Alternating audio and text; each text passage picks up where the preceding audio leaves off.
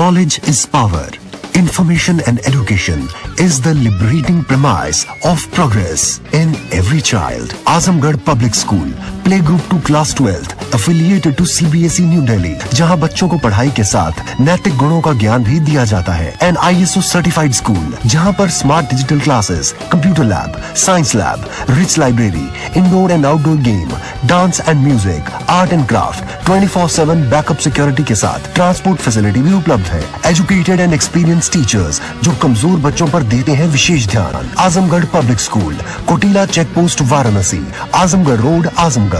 ये है आजमगढ़ के कुकड़ीपुर सठियाओं में विस्तार में फैला cross valley international school. Cross valley Azamgarh में अपनी पाँच अलग अलग ब्रांचेस द्वारा स्टूडेंट्स को शिक्षित कर रहा है। Cross valley school CBSE Delhi मान्यता प्राप्त स्कूलों में से एक है। क्रॉस वैली इंटरनेशनल स्कूल में क्लास नर्सरी से लेकर ट्वेल्थ तक के छात्रों को वेल एजुकेटेड टीचर्स द्वारा पढ़ाया जाता है, ताकि यहाँ से शिक्षा प्राप्त कर रहे स्टूडेंट्स के भविष्य के साथ कोई खिलवाड़ न हो। डायल करें nine four five three seven two four one nine eight या nine four five zero double one eight two double five नमस्कार एबीसी चैनल में आपका स्वागत है।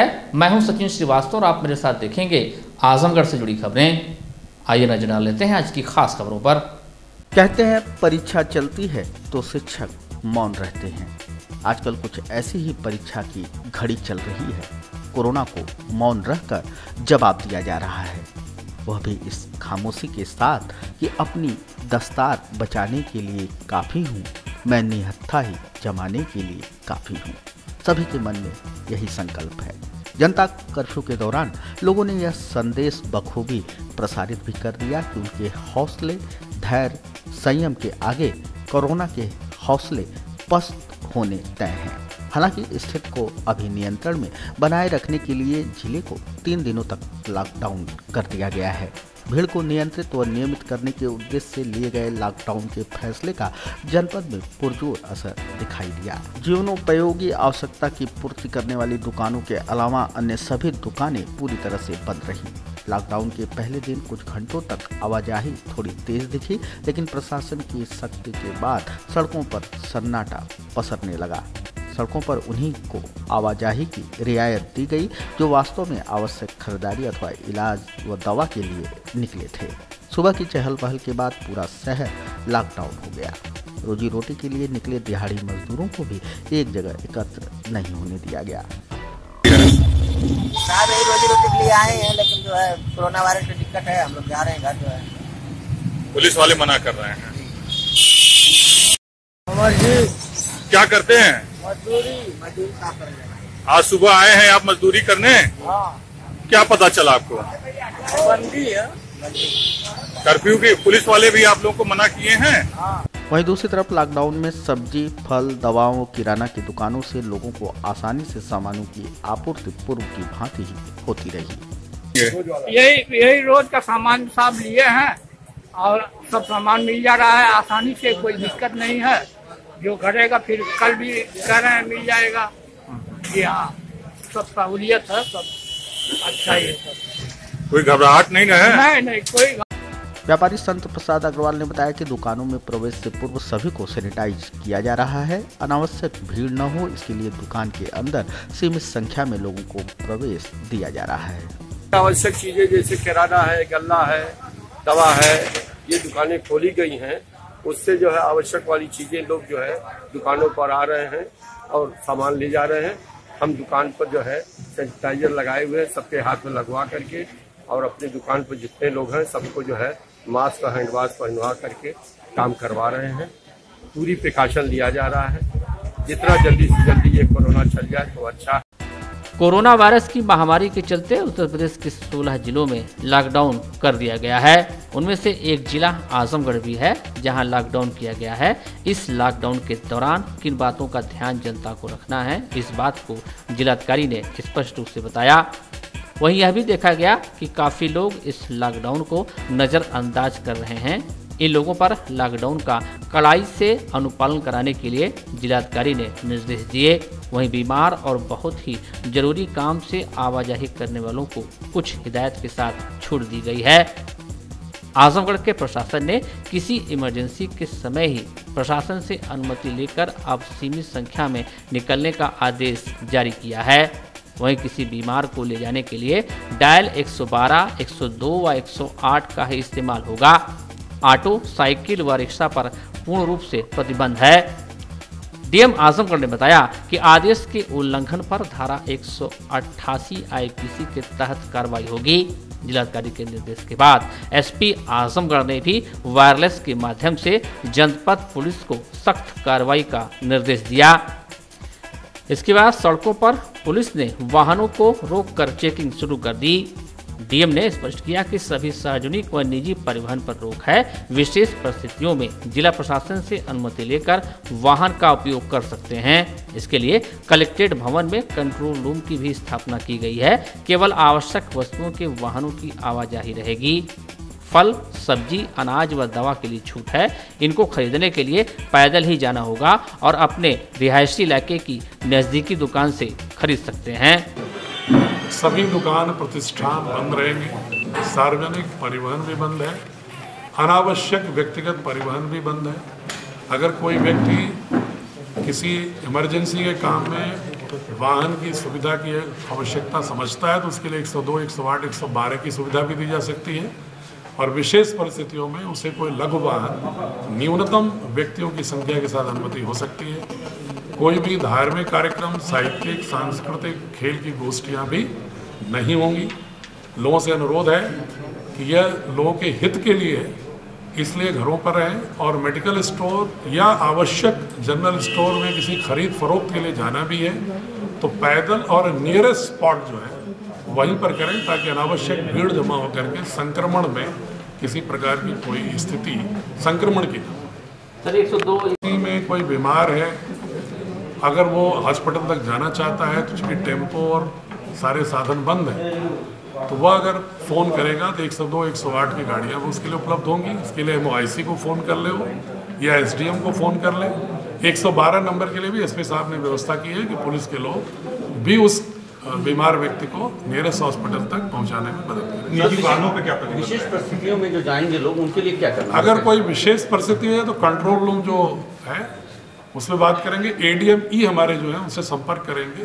वो गुणावगुण पर विचार करते हुए उनको परमिशन देंगे। सर मंडी में सब्ज़ी वब्जी के रेट काफ़ी बढ़े हैं बढ़ के बिक रहे हैं सर। किस तरह की रोकथाम इसको हम मंडी समिति के लोगों को देखेंगे किसी तरह का काला बाजारी ना हो इस पर हम सख्ती करें सर निजी की दुकानें खुली रहेंगी निजी वाहनों को लोग निजी वाहनों का अनावश्यक प्रयोग नहीं करेंगे। बहुत ही परिस्थिति ऐसी अगर अपरिहार्य है तो एडीएम इसे परमिशन लेके ही चलते कार्रवाई क्या होगी अगर करते हैं तो? नहीं करते हैं तो एक सौ आईपीसी में दंडनीय अपराध है उनके विरुद्ध एफ़ होगी सख्त सर आबकारी की दुकान खुली रहेगी आबकारी की दुकानें बंद है मैंने मैसेज करके कोरोना वायरस के बढ़ते प्रभाव के चलते आजमगढ़ में उत्तर प्रदेश सरकार ने लॉकडाउन घोषित कर दिया है। लॉकडाउन के दौरान दैनिक उपयोग की आवश्यक वस्तुओं को छोड़कर सभी दुकानें बंद हैं। सड़कों पर वाहनों के चलने पर रोक है। संकट की इस घड़ी में जिला प्रशासन के निर्देश पर मरीजों की मदद के लिए जिला महिला अस्पताल के चिकित्सक आगे आए हैं। अस्पताल के चिकित्सक मोबाइल और व्हाट्सएप पर मरीजों को सलाह देंगे। इसकी जानकारी देते हुए महिला अस्पताल के बाल रोग विशेषज्ञ डॉक्टर नीरज शर्मा ने बताया कि कोरोना के संक्रमण को रोकने का एकमात्र उपाय है कि हम सावधानी बरतें, घरों से न निकलें। कहा कि अगले 10 दिन देश के लिए चिंताजनक हैं। लॉकडाउन में घरों पर रहकर कोरोना को हम हरा सकते हैं।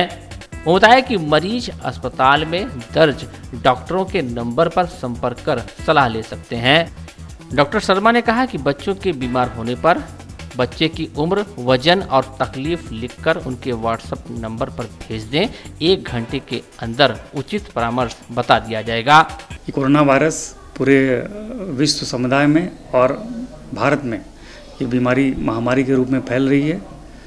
और भारत इस समय स्टेज टू में है। स्टेज टू में होता क्या है कि जो बाहर से लोग आते हैं, उनके संपर्क में जो लोग भी आते हैं, उनको जो है ये बीमारी होने का खतरा रहता है।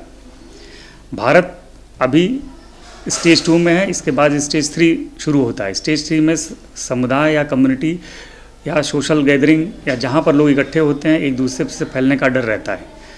तो इसलिए आप सभी से ये अनुरोध है कि आप सभी लोग अपने घर में रहें, बहुत आवश्यक हो या आपात स्थिति हो, इसी, इन्हीं परिस्थितियों में घर से बाहर जाएँ। अनावश्यक जगह जगह इकट्ठे होना, घूमने जाना शॉपिंग करना, ये इन चीज़ों को एकदम ही बंद करना है। क्योंकि अभी तक जो स्थिति है, अगर भारत तीसरे स्टेज में चला जाएगा तो इस महामारी को रोकना सभी का बहुत मुश्किल है। और ये हम सब की नैतिक ज़िम्मेदारी है कि अपने देश के लिए और अपने समाज के लिए ये कोशिश करें कि जो जहाँ पर है, जिन परिस्थितियों में वो घर से बाहर ना निकले। बहुत आपात स्थिति हो, बहुत किस, किसी प्रकार की तकलीफ़ ऐसी स्थिति हो जो कि जीवन के लिए खतरा हो, तभी अस्पताल आएँ। अथवा या अपने फ़ोन से ही डॉक्टर से बात करने की कोशिश करें और उनसे संपर्क में रहें। कम से कम घर से बाहर निकलें और कम से कम लोगों से मिलें। जब भी बाहर निकलें तो कपड़ा, रुमाल अथवा मास्क ज़रूर लगाएँ और लोगों से कम से कम एक से डेढ़ मीटर की दूरी पर बने रहें। हमको ये पता नहीं कि सामने वाले को बीमारी है कि नहीं। इसलिए ये हमको मान के चलना है कि सामने वाले को बीमारी हो सकती है और अपना बचाव हमको खुद ही करना है। इसलिए आप कहीं भी बाहर न जाएँ, अपने घर में सुरक्षित रहें और कोई भी बाहर से आता है कोई भी रिश्तेदार हो या मिलने के लिए आता है, उसको आपकी ज़िम्मेदारी आप मना करें कि आप अपने घर में रहें। अगले हफ़्ते दस दिन भारत के लिए बहुत चिंताजनक हैं। यह एक ऐसा समय है कि हम, हमारी ज़िम्मेदारी है कि हम इसको रोक सकते हैं। अपना बचाव आज हमारे अपने ही हाथ में है। अगर हम इस स्थिति- को काबू पा लिए तो हम कोरोना जैसे वायरस बीमारी को हरा पाएँगे। अन्यथा आगे जो स्थिति आएगी, वो हम सब के हाथ से बाहर चली जाएगी।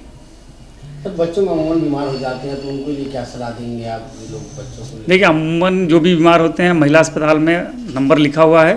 आप फ़ोन से आके बात कर सकते हैं अथवा व्हाट्सएप पर मैसेज भी भेज सकते हैं। तो बच्चे की उम्र बच्चे का वज़न और बच्चे को क्या तकलीफ़ है आप मैसेज कर देंगे। जिस भी डॉक्टर को मैसेज करेंगे वो आपको उसका उत्तर दे देगा। सर आपका क्या मोबाइल नंबर है कुछ? मेरा mobile number eight seven five double six two seven zero zero one. Eight seven five double six two seven zero zero one. अगर किसी भी बच्चे को किसी भी प्रकार की कोई तकलीफ़ होती है तो आप घर पर रहें मुझे आप मैसेज करिए व्हाट्सएप मैसेज कीजिए मैं आधे से एक घंटे में इसका उत्तर अवश्य दूँगा। मोबाइल सर चौबीस घंटा। हाँ मेरा मोबाइल 24 घंटे ऑन रहता है और कोशिश कीजिए आप घर पर ही रहें बाहर ना निकलें। बीमारी का लक्षण क्या किस तरह क्या है कुछ? देखिए, इस बीमारी में तेज बुखार के साथ सूखी खांसी आती है। सूखी खांसी आती है और इस बीमारी में एक अच्छी चीज़ है कि 80 प्रतिशत लोगों को होने के बाद पता भी नहीं चलता है। जैसे नॉर्मल सर्दी जुकाम होता है, वैसे ही होता है और वो ठीक हो जाते हैं। ये बीमारी मुख्यतः जो है, जिनको ज़्यादा दिक्कत होती है, वो साठ साल से ऊपर हैं या जैसे डायबिटीज़ है, हाइपरटेंशन है या अस्थमा है, उनको ज़्यादा परेशान करती है। तो ऐसे लोग जब घर से न बाहर निकलें और घर में ही रहें। स्कूलों की बंदी, जनता कर्फ्यू और अब लॉकडाउन की स्थिति में लोग खुद को घरों में सुरक्षित रख रहे हैं। भोले भाले बच्चों के लिए तो स्थिति कैद जैसी हो गई है। ऐसे में समय का प्रबंधन सभी के लिए चुनौतीपूर्ण हो चला है। जिलाधिकारी नागेंद्र प्रसाद सिंह ने स्थिति को समझते हुए लोगों को अपनी अपील के ज़रिए यह संदेश प्रेषित किया है कि स्थिति को सकारात्मक रूप से लें।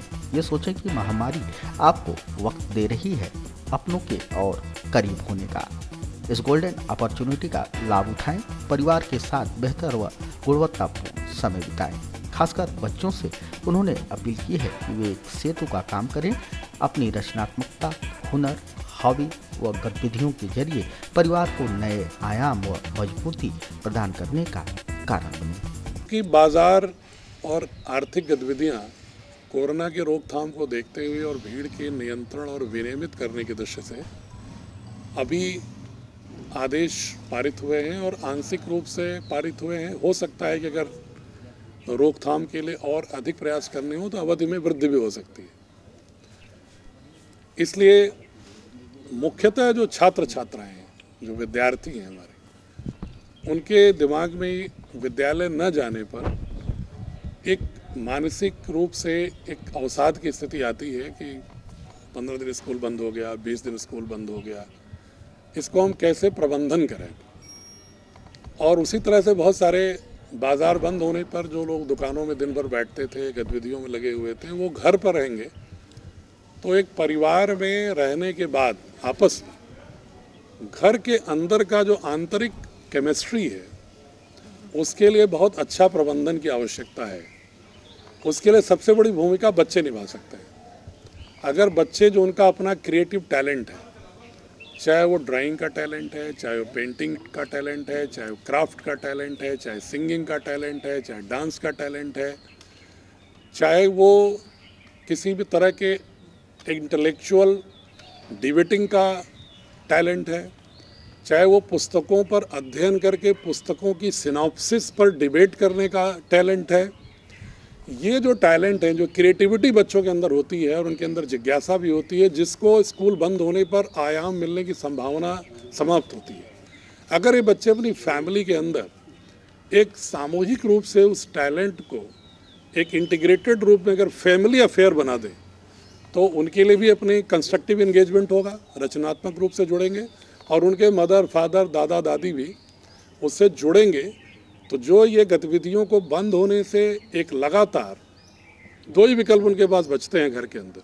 या तो निरंतर कोरोना को कोसते रहें या आपस में अनावश्यक बिंदुओं पर झगड़ते रहें।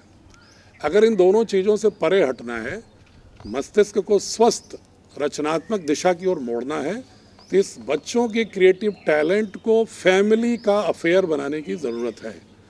इसको मैं आपके माध्यम से इसलिए पूरे जनपद वासियों से अनुरोध करूँगा कि अपने बच्चों के क्रिएटिव टैलेंट को मौका दें। ये अपॉर्चुनिटी है। बहुत सारे गार्जियंस अपने बच्चों से बात नहीं करते थे अपनी व्यस्तताओं में। बाज़ार की व्यस्तता में, दुकान की व्यस्तता में, नौकरी की व्यस्तता में, गतिविधियों की व्यस्तता में ये वक्त उनको दे रहा है। ये महामारी उनको एक वक्त दे रही है कि अपने बच्चों को जानें। अपने बच्चों के टैलेंट को समझें और उनके टैलेंट के साथ खुद को भी जोड़ें। हो सकता है कि ये अपॉर्चुनिटी उनको ये जो चुनौती है, एक परिवार में एक बहुत ही बेहतर समन्वय और बच्चों के विकास के ग्रोथ के लिए एक बेहतर आयाम को लेकर के आ जाए, ये मैं अनुरोध करना चाह रहा हूँ। आजमगढ़ में कोरोना वायरस का कोई पॉजिटिव केस सामने नहीं आया है। इसके बावजूद कुछ न्यूज़ पोर्टल और यूट्यूब चैनल अफवाह फैलाने का काम कर रहे हैं। बिना जिलाधिकारी के बयान या सीएमओ की पुष्टि के ये पोर्टल जहानागंज में, कोरोना से मौत, महाराजगंज और बिलरियागंज में कोरोना संदिग्ध पाए जाने की भ्रामक खबर प्रसारित करके अफवाह फैला रहे हैं और पत्रकारिता का मखौल उड़ा रहे हैं। ऐसे न्यूज़ पोर्टल और सोशल मीडिया पर व्यक्तिगत पोस्ट करने वालों पर जिला प्रशासन सख्त हो गया है। डीएम ने पुलिस अधीक्षक को आदेश दिया है कि इन पर एफआईआर दर्ज कर सख्त कार्रवाई की जाए। अभी मेरे संज्ञान में आया है कि कुछ न्यूज़ पोर्टल अनावश्यक रूप से महाराजगंज बिलरियागंज क्षेत्र में कोरोना संदिग्ध कोरोना मरीज़ मिला इस तरह के समाचार चला रहे थे पैनिक क्रिएट कर रहे थे। जहानागंज में मौत दिखा दी और जहानागंज में मौत दिखा दिए थे। ऐसे लोगों के विरुद्ध हमने पुलिस अधीक्षक को आदेश किया है और उन्होंने इंस्पेक्टर को मेरे सामने ही आदेश कर दिया है। सीएमओ साहब को भी बताया हमने कि लिखित रूप में वहाँ भेज दें सूचना कि ये गलत रिपोर्ट है, जिसके आधार पर इंस्पेक्टर एफ़ दर्ज कर रहे हैं उनके खिलाफ। और जो भी इस तरह का गलत समाचार देगा, बिना पुष्ट हुए हुए, उनसे मेरा अनुरोध भी है क्योंकि मीडिया एक बहुत ही संवेदनशील है, चाहे वो प्रिंट मीडिया हो, इलेक्ट्रॉनिक मीडिया हो, चाहे सोशल मीडिया हो, या कोई इंडिविजुअल भी अगर कोई पोस्ट करता हो, एक रिस्पॉन्सिबल सिटीजन की तरह बिहेव करे ऐसी महामारी और ऐसी परिस्थितियों में एक जिम्मेदार नागरिक के रूप में बिहेवियर करना चाहिए, जिससे कि जहाँ ये भी आवश्यक है कि अगर कोई सही मरीज़ है तो उसका पारदर्शिता से इलाज हो। वहीं ये भी ज़रूरी है कि गलत समाचारों के प्रेषण करने से आसपास के इलाकों में लोगों में पैनिक और भय न व्याप्त हो। ये जिम्मेदार नागरिक के रूप में ये भी उनको व्यवहार अपेक्षित है। और मीडिया एक आम आदमी से अधिक जिम्मेदार होना चाहिए, क्योंकि उनकी बातों पर लोग यकीन करते हैं, विश्वास करते हैं। अगर फिर भी हमारी इस अपील के बाद भी अगर कोई ऐसी हरकत करता है तो निश्चित रूप से उसके लिए कानून अपना कार्य करेगा। भारत में कोरोना वायरस से संक्रमित मरीजों की संख्या में तेज़ी से इजाफा हो रहा है जिसके चलते ज़्यादातर राज्य लॉकडाउन की ओर बढ़ रहे हैं। इसी बीच यूपी के मुख्यमंत्री योगी आदित्यनाथ ने प्रदेश में 15 जिलों में लॉकडाउन का ऐलान किया है। इन जिलों में 23 मार्च से 25 मार्च तक लॉकडाउन रहेगा। इन 15 जिलों में आजमगढ़ भी शामिल है। जिलाधिकारी नागेंद्र प्रसाद सिंह ने बताया कि 23 से 25 मार्च तक सभी स्थायी व अस्थायी दुकानें, फल व सब्ज़ी को छोड़कर बंद रहेंगी। अनाज, गल्ला, किराना स्टोर जनरल स्टोर, दूध, रसोई गैस, पेट्रोल पंप, दवाई की दुकानें, ट्रांसपोर्ट, कोरियर, वेयरहाउस और पैथोलॉजी लैब, डॉक्टर क्लिनिक, सभी प्राइवेट और निजी हॉस्पिटल इस प्रतिबंध से मुक्त रहेंगे। इसके साथ ही जिलाधिकारी ने बताया कि सभी ढाबे, मिष्ठान, भंडार जलपान गृह restaurant, coffee house chaat, snacks की दुकानें, आइसक्रीम पार्लर, तंबाकू, गुटखा व चाय पान की दुकानें 31 मार्च तक बंद रहेंगी। पहले तो ये मैं जनपद वासियों को धन्यवाद दूँगा, उनका अभिनंदन करूँगा कि माननीय प्रधानमंत्री जी के आह्वान पर लोगों ने कोरोना के विषय में उसकी संवेदनशीलता और गंभीरता को समझते हुए लोग आज अपने को स्वयं समस्त गतिविधियों से दूर रखते हुए अपने घरों पर रहे, अपने परिवारों के बीच रहे, ये बहुत ही अच्छा संकेत है और उनकी संवेदनशीलता के उत्कृष्टता का परिचय है। इसलिए उनको मैं बधाई दूँगा और धन्यवाद भी दूँगा। साथ ही चूँकि जिस तरह का ये फ़ेज़ थ्री की संभावनाओं को देखते हुए एक जो विश्लेषण है कि ये समय कम्युनिटी ट्रांसमिशन को रोकने का है। जो माइग्रेंट्स हैं, जो कलकत्ता में या दूर देशों के लोग भी आ रहे हैं, काफ़ी संख्या में और उनके कॉन्टैक्ट्स मार्केट प्लेसेस या अन्य एक्टिविटी प्लेसेस से बढ़ सकते हैं। इसलिए इसको दृष्टिगत रखते हुए यद्यपि मेरे जनपद में कोई कोरोना पॉजिटिव नहीं है, लेकिन ऐसी संभावनाओं पर पहले से ही अंकुश और नियमन किया जाए। इसके लिए हमने एक आदेश किया है कि समस्त स्थायी और अस्थायी दुकानें पूरे जनपद की, चाहे वो किसी भी ग्रामीण जगह पर हो, चाहे नगर पंचायत में हो, चाहे नगर पालिका में हो, चाहे जिला मुख्यालय पर हो, वो सभी प्लेसेस स्थायी और अस्थायी दुकानें बंद रहेंगी। मात्र जो इमरजेंसी सेवाएँ होती हैं, जैसे किराना है, अनाज का स्टोर है जनरल स्टोर है मेडिकल स्टोर है कोरियर है हॉस्पिटल्स हैं पैथोलॉजी लैब है या फल और सब्ज़ी के ठेले या कोई दुकान जो बिल्कुल आवश्यक रूप से जीवन जीने के लिए ज़रूरी है या ग्रामीण या शहरी क्षेत्रों में सार्वजनिक वितरण प्रणाली की जो कोटे की दुकान वो खुलेंगी। बाकी समस्त दुकानें 23, 24, 25 मार्च को बंद रहेंगी ताकि भीड़ को नियंत्रित और नियमित किया जा सके। इसके अलावा जो मिष्ठान भंडार हैं, जो ढाबे हैं, जो रेस्टोरेंट हैं, जो पार्लर हैं, जो चाय की दुकानें हैं, जो पान की दुकानें हैं, गुटखा, तंबाकू बेचने वाली जो दुकानें हैं, आइसक्रीम और की जो दुकानें हैं, इस तरह के जितने भी शॉप्स हैं जहाँ पर कि भीड़ की संभावना होती है गॉसिपिंग जहाँ ज़्यादा होती है, उन जगहों को हमने 31 मार्च तक के लिए बंद कर दिया। और 23, 24, 25 को जो दुकानें बंद किया है इमरजेंसी सेवाओं को छोड़कर उस पर हम 25 को पुनः विचार करेंगे परिस्थितियों को देखते हुए अगर एक्सटेंड करना होगा तो करेंगे। जनता से मुझे अपील ये है कि जो उनकी आवश्यक सुविधा की चीज़ें हैं जो जीवन जीने के लिए आवश्यक है चाहे मेडिकल स्टोर हो हॉस्पिटल्स हो या खान पान की चीज़ बेसिक खान पान की चीज़ लग्जरी खान पान की बात नहीं कर रहा हूँ। जो बेसिक खान पान की चीज़ें हैं, अनाज है, किराना स्टोर है, वो चूँकि निरंतर खुले रहेंगे, इसलिए किसी पैनिक की ज़रूरत भी नहीं है, किसी होर्डिंग करने की ज़रूरत नहीं है, वो हम बंद नहीं कर रहे हैं। इसलिए वहाँ पर बहुत आपाधापी भी ना करें कि जैसे बाकी दुकानें बंद हो जाएँगी, इमरजेंसी खुली रहेंगी, उनके दिमाग में आशंका न हो जाए कि 25 के बाद कहीं ये भी ना बंद हो जाए तो तीन दिन उन दुकानों पर भीड़ होने लगे।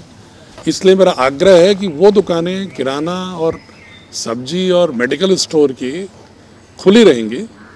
अगर पब्लिक ये सपोर्ट हमको करेगी कि वहाँ पर बहुत ही नियमित ढंग से रेगुलेटेड वे में क्राउड को बिना बढ़ावा दिए हुए एक सेल्फ डिसिप्लिन रेस्पॉन्सिबल सिटीजन की तरह अगर वो बिहेव करेंगे ये व्यवस्था हमने किया है। साथ ही जो semi boiled meat frozen meat जो कुछ बाज़ार में कभी बिकते हैं, उसको हमने पूरी तरह प्रतिबंधित किया है और खाद्य सुरक्षा अधिकारियों को एक्टिवेट किया है कि जो इमरजेंसी सेवाओं के लिए भी जो खुली रहेंगी दुकानें, उनके खाद्य वस्तुओं के मानकों के अनुसार निरंतर जाँच करेंगे।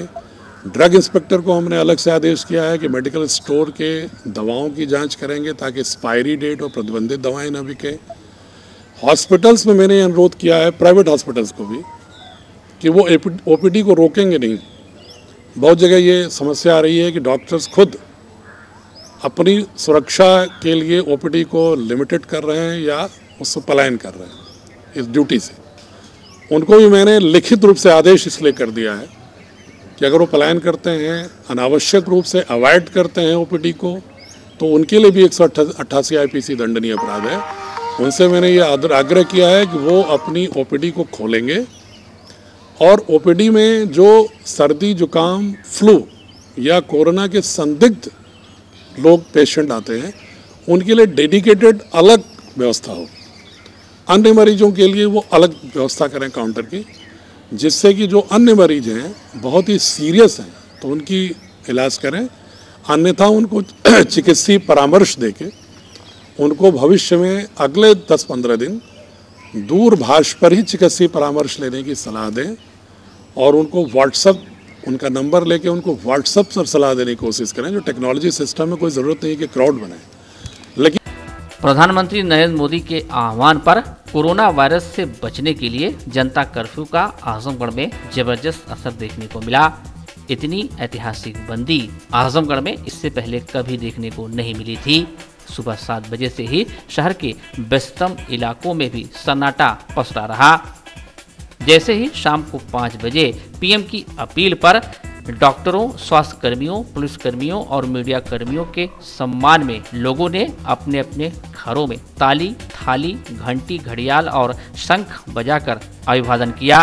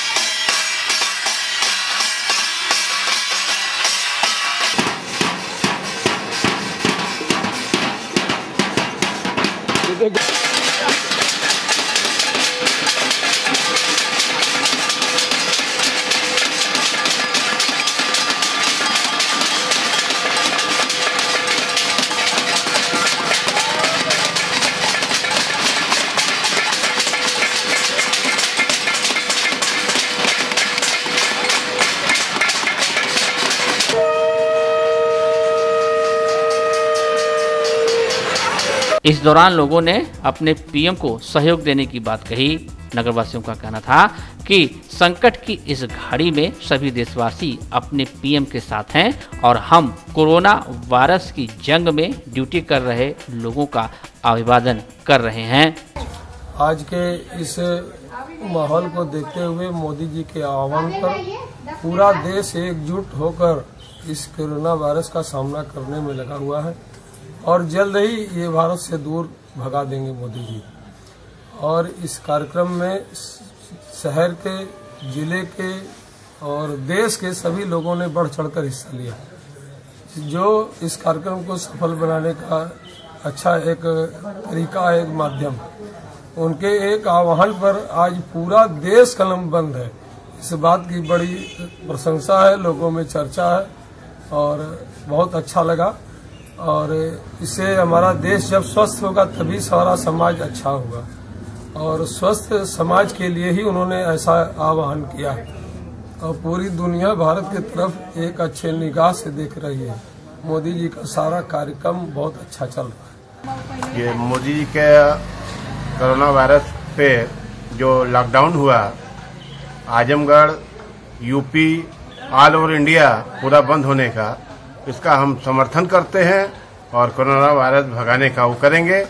और बहुत ही अच्छी बात है कि मोदी जी के एक आह्वान पे हम सब लोग क्या कहते हैं, लगे हुए हैं और कोरोना वायरस को भगाने के लिए। और हम लोगों ने प्रशासन को, सफ़ाई वाले कर्मचारी को, मीडिया वालों को धन्यवाद देंगे कि इस आपदा में हम लोग का साथ दिए और आगे बढ़ कर करके काम कर रहे हैं।